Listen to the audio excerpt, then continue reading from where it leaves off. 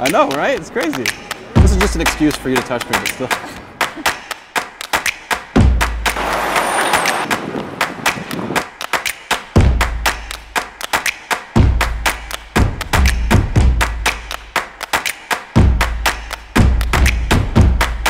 Imagine holding a deck of cards at your fingertips that you can riffle and spread in front of their eyes, and in just a second, an instant, a clap of your hands, the deck vanishes at your fingertips, completely gone. You can roll up your sleeves, you can open your jacket, it's gone. You can do it 360 degrees, and I'm gonna teach it to you now. So let's learn 52 gone.